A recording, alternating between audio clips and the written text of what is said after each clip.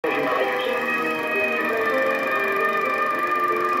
enemigos naturales tienen los altos, aparte de los cazadores deportivos o profesionales humanos. Hay una cita de un ganso capturado en la marisma del Guadalquivir por un niño.